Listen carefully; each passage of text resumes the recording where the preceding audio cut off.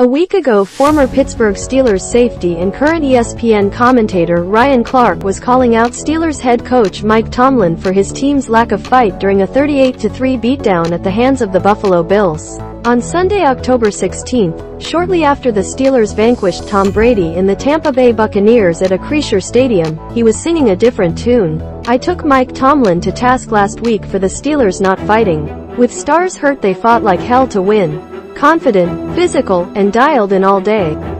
Began Clark, making reference to how Pittsburgh played without all-pro safety Minkah Fitzpatrick and its three best cornerbacks, as well as a number of other key players. If you screamed for his job last week make sure you scream how great of a coach he is today. A shout out to Steelers captain Cam Heyward. Ryan Clark also took a moment to salute Steelers defensive lineman Cameron Heyward for leading by example. He didn't just talk about being better. He didn't just talk about being better. Indeed, Heyward stood out against the Buccaneers, recording three tackles, including a tackle for loss, a sack and a pair of quarterback hits. But he knows the Steelers are still a long way from where they want to be. We've got work to do, said the defensive captain, during his post-game press conference. Cam Heyward says the defense still has work to do, but says they applied pressure and stopped the run. Ryan Clark, Kenny Pickett, adds juice to the offense. Last but not least, Clark also liked what he saw from Steelers starting quarterback Kenny Pickett, saying that Kenny Two Mittens just adds so much juice to the offense.